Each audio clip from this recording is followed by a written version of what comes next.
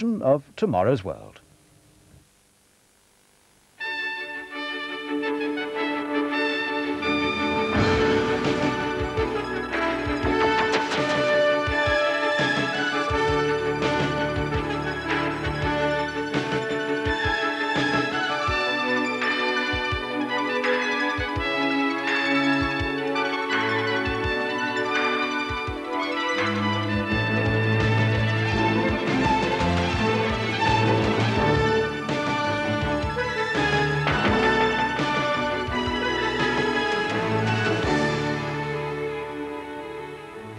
Good evening and welcome to our darkened studio. Dark so that we can be switched on to the very latest in fashion. Sparkly, isn't it? Thanks to the 88,000 optical fibres that are built into this jacket and linked to a light box with a rotating filter so the colours change in sequence. We've got a red Rio at the moment because this, the very first example of fibre optic fashion in the world, has been specially made by a London designer for the New Year Rio Carnival in Brazil. The light is brightest where you actually see the ends of the optical fibres and it's softer where you get the fibres running down. Now, while this may work very well on a carnival float in Rio, I think it's going to be some time before they can reduce the size of this little lot, so we can all see our way in the dark. In the rest of the programme, I visit a house which is going underground and we join the Isle of Man Fire Service to see how magnets can fight a fire. But first, how to get a better view of the fish.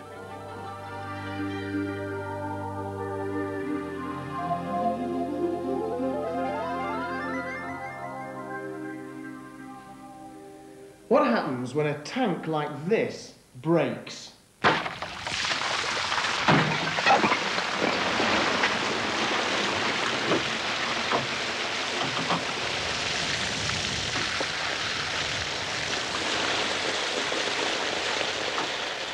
Not much fun for us or for the fish. But the problem is that to keep an aquarium absolutely safe, the panes of glass have got to be able to withstand a pressure of nearly 800 pounds per square foot. And if you're using ordinary glass, then the panes have got to be small with partitions every couple of feet. And that's hardly ideal for the panoramic view. So the owners of this aquarium, which is already the largest in the UK, want to build a bigger and better tank with a clear view through panels of glass which are four metres by two metres, three times this size. The question is how? Well, in Germany, Aquaria use this very thick ordinary glass. Now, the trouble with that is it's extremely heavy and makes everything you see through it green and magnified. On the other hand, in America, they use an acrylic, which is light and gives superb optics whilst it's new. But half the fun of going to the aquarium is getting as close to the fish as possible. And with lots of people and fish pushing against the sides of the tank, it very quickly gets scratched and you end up looking through one big blur. But now it seems the British may have come up with the answer. It's made of toughened glass, like windscreens. It's thin, light, and very strong. But even toughened glass can break. And when it does, it really goes. So here, there are two layers laminated together. And each one alone is capable of withstanding the pressure inside the tank, even if it were a four by two metre panel. So where's the catch? Ah, Ian, my brave man. Now, hopefully there's not going to be a catch because Ian's going to be inside the tank when we smash it. All right, lads, fill it up to the top. 500 gallons of confidence. In theory, the reason Ian can sit safely in the tank is that even when the outside pane's broken, the inside one shouldn't be affected and should remain to hold him and the water inside. Now, the thing is, this has never been tested before. If it works, it means we'll have the first mega aquarium in Britain by next summer. And if it doesn't, it's back to the drawing board. Right, let's go for it. I think I'll stand over here.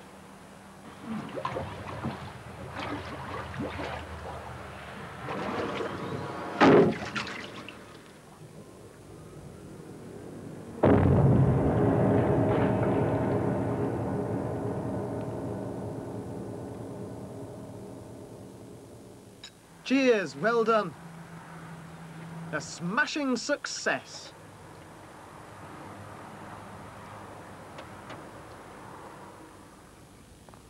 This is Karim. He's five years old and quite old enough to want to go out and play.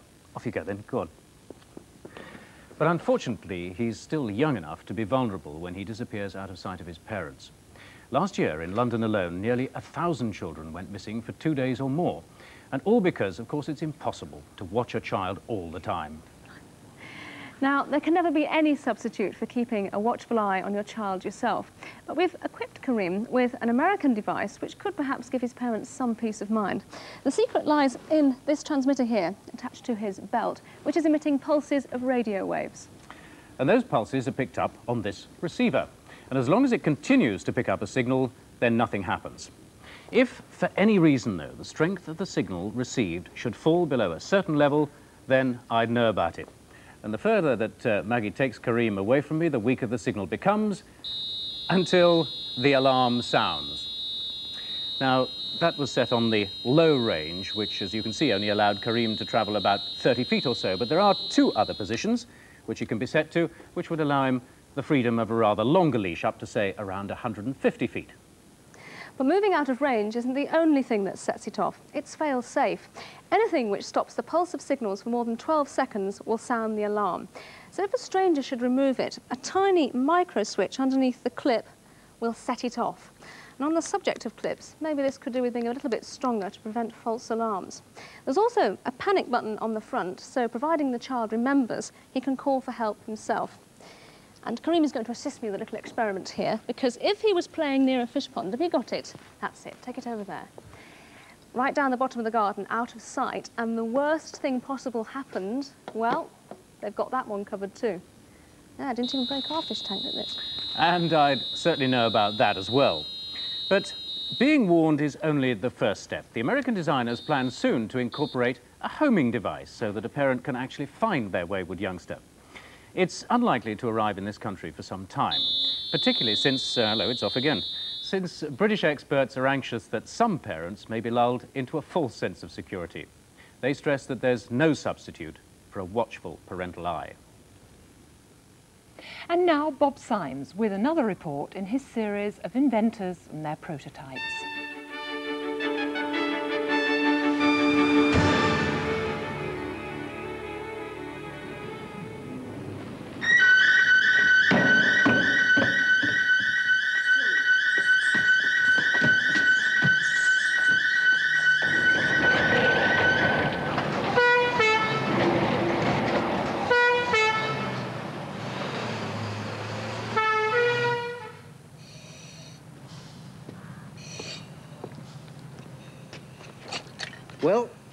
They say there's no smoke without fire. That may be so, but there certainly is no fire without smoke.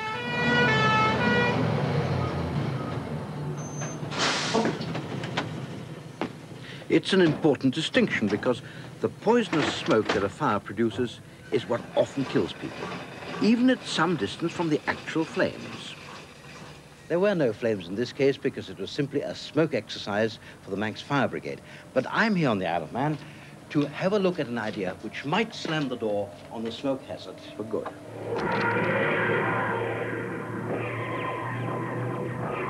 No, this is not a TARDIS. This glass cage was specially designed to test how smoke can leak around doors. One of the biggest problems is smoke that's moved away from the actual fire. It cools down, it remains poisonous nonetheless, but it sinks to the ground, and that's where most doors have their biggest gaps. Even a simple draft excluder might help to stop the smoke from spreading. But inventor Frank Thompson built this rig to help him develop his super seal. So I asked Frank to demonstrate the problem. A standard marine flare rapidly fills the chamber with the sort of dense smoke that Frank is concerned with. Being sealed, the chamber is quite free of drafts. Even so, smoke is soon billowing round the door. That looks jolly ominous. Let's see how your seal can cope with it. But before we do that, let's get some of this smoke out. Come on.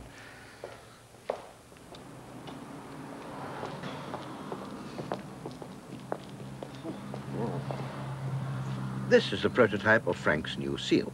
It's really rather simple. It's all done with magnets. And it's on the principle that like poles push each other apart and unlike poles attract each other, a sort of magnetic spring. And here it is in the open position. The magnets, like poles, you can see them here, pushing each other apart. The door is now open and the seal is retracted. When the door hits the jamb, this little lever, pushes the top bar across, and unlike poles face each other, and what happens is the seal is dropped. Watch this.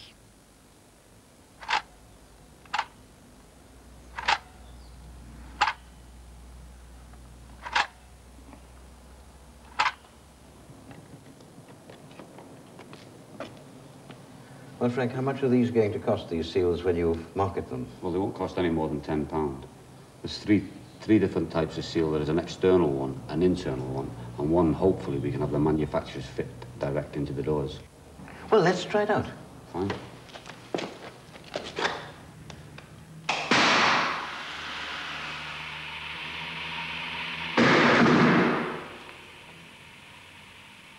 For my money, I think Frank Seal would sell well as an upmarket draft excluder, and that's the market he should go for. A draft excluder that also excludes smoke. Well, it certainly does work. All Frank has to do now is persuade some of the door manufacturers to fit it.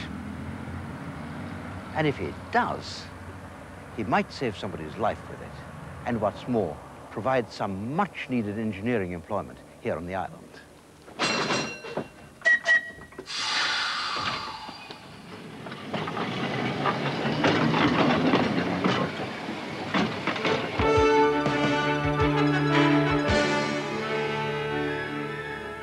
Today, it emerged that President Reagan is determined to press ahead with Star Wars research, and for the moment, he and Gorbachev have had to agree to differ about it.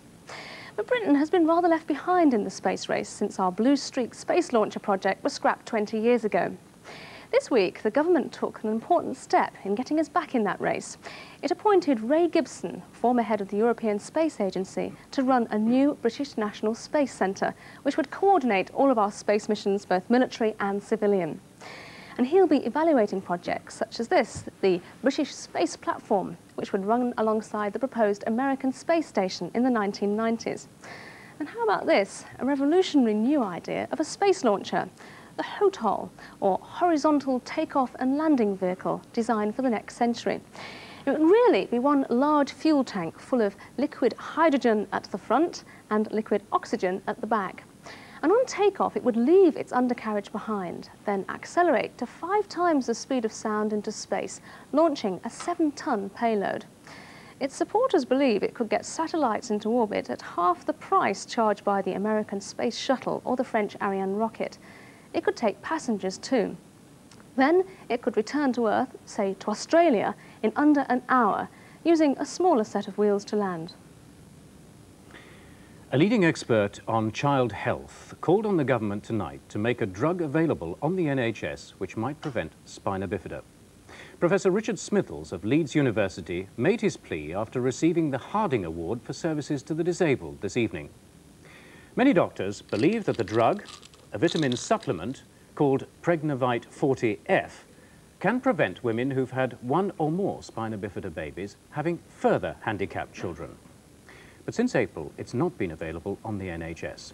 And there's such concern in some quarters that today the Labour MP, Mrs Gwyneth Dunwoody, tabled a Commons question asking the government to allow the drug to be prescribed once again on the NHS. These developments are the latest twist in a 10-year controversy surrounding the drug, which has split the medical profession. Since 1976, Professor Smithells and his team have given high-risk mothers in their care the mixture of vitamins, minerals and folic acid. And their results suggest that the drug does reduce the number of handicapped babies. But some doctors criticised his work as unscientific and inconclusive because there was no control group, that is, a group of high-risk mothers who weren't given the drug to compare with the mothers who were. Ethical committees took the view that it would be wrong to deprive high-risk mothers of a drug which might help. Then, three years ago, the Medical Research Council announced that it would conduct a large-scale trial, including such a control group, in spite of these doubts. There are two problems, however. The trial has got off to a slow start, partly because of adverse publicity and partly because some doctors still consider that such a trial is unethical. Of the 2,000 high-risk mothers needed, only 528 have so far agreed to join the trial, and the majority of those are from overseas. The organisers estimate that it'll be another three years at least before the trial is concluded. And in the meantime, the drug can't be obtained on NHS prescription. But when you remember that the incidence of spina bifida is higher in this country than anywhere else in the world, you can understand why feelings run so high.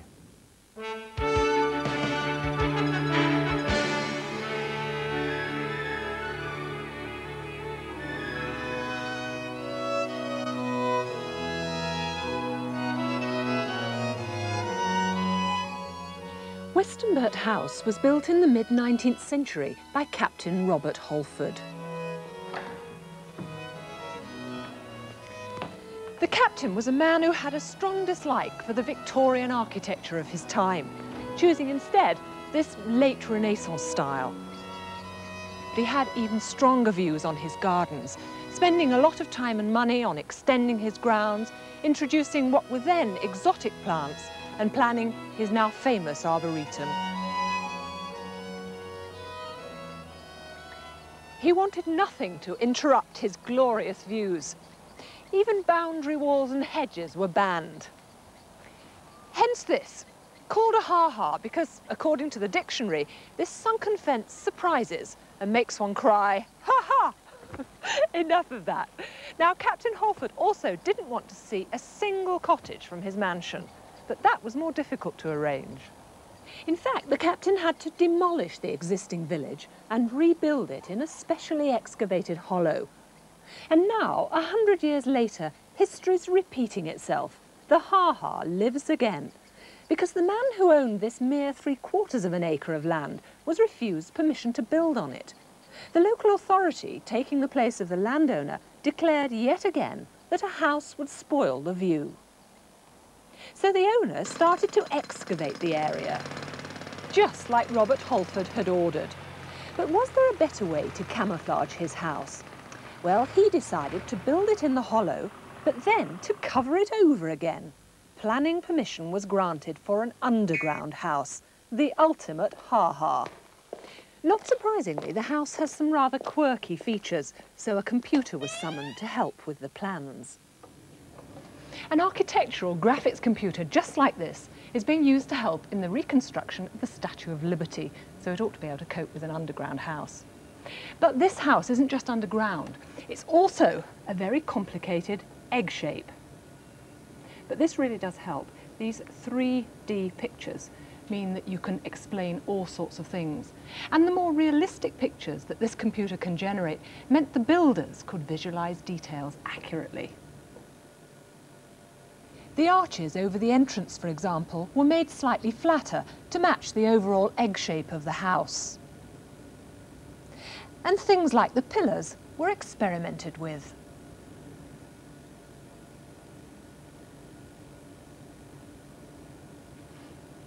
And there are so many other possibilities with this machine. You can use pictures like this to plan your lighting. You can look at pictures from different angles and decide where to put your furniture. And you can also do a lot of interesting things to plan your colour schemes. Once he'd seen it here, the owner of the site felt he was going to end up with a home he'd really want to live in. Small rooms lead off the central living area, all bathed in light from skylights and occasional windows where the hillside is cut away. Well, that's what it should be like, but everything looks different on the ground. At the moment, the house is clearly in the early stages of construction, but at least the bare bones of the structure are revealed, showing how different underground houses have to be. For a start, huge columns and all these thick walls are needed to support an earth-covered roof that will weigh at least five times as much as a traditional tiled roof. Now, you couldn't be blamed for thinking that any underground house is bound to be damp and cold. But in fact, it's quite the reverse. Water's trapped outside the building and channeled away in pipes. And the outer walls will be sealed with a double layer of a new tough and waterproof polyurethane coating. The temperature inside the house will vary by less than one degree centigrade, whatever the conditions outside. And that's because the blanket of earth provides excellent insulation. There's also a small pool just here. It acts as a small swimming pool, but also helps to maintain even temperatures because it acts as a heat store. It should take less than a quarter of the energy used by a well-insulated traditional house to keep this underground den snug and warm. But what would the captain have said? Ha ha. Hang on, I'll be right with you. I'm just trying to achieve inner peace. This is part of a system based on biofeedback. Now, biofeedback is about uh, using machines to measure biological responses and then learning to control those responses. And uh, this equipment over here is, is showing my brain waves along with some other studio interference, and it's an example of what I'm talking about. Waves of electrical impulses move constantly across the brain and the sort of waves it produces varies depending on what state of mind you're in. It's been found that when you relax, you produce alpha waves. Now, people can learn to produce alpha waves at will, and that can help to lower blood pressure, relieve migraine headaches, and reduce stress. Now, you'd normally use a system like this, an electrocephalogram to measure brain waves, and a loudspeaker, which makes a purer sound when you're producing the right waves. Well, doing it well requires quite a lot of practice. And the problem is how to motivate yourself to sit here and do it. Listening to this hissing sound isn't exactly a barrel of laughs, and it's not very relaxing either. So how about this? It's part of a new system designed to help busy executives reduce stress. It measures alpha waves and muscle tension. When I relax, all my muscles generate alpha waves, and a switch in here is triggered that allows the train to run. Right, well, let's see if it actually works. I'll switch it on and then uh, relax and see if I can get the old alpha waves going. And then when I wake up, the train stops, and then if I can go back to sleep again. Pretty good, eh? And as you see, uh, when you get good at it, you can make the train run constantly, and the sound is more soothing than that hissing. It's strange, really, because the secret of doing it is not to try to do it. Well, their latest idea is to make biofeedback really portable. For the executive who has everything, including hypertension, what about this? These uh, contacts measure the uh, electrical conductivity of my skin. So I'll just put it on and put this onto green, just in between. And then if I sort of hyperventilate like that, try and, try and get myself excited, it turns red. Now then, well, if you want to, you can plug this into any sort of electrical appliance, in this case this lamp behind me, and on it comes. So now I have to try and make it go off. So uh, lads, if you just dim the lights and uh, leave me in peace, I'll get on to my work. It's right up my street, this. The less I try, the better I get.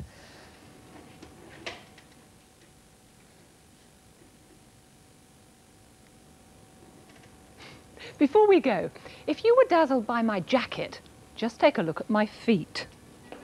Fibre optics can now be tufted into carpets so that you really get the message. It's obviously a good moment to leave. So until next week, good night.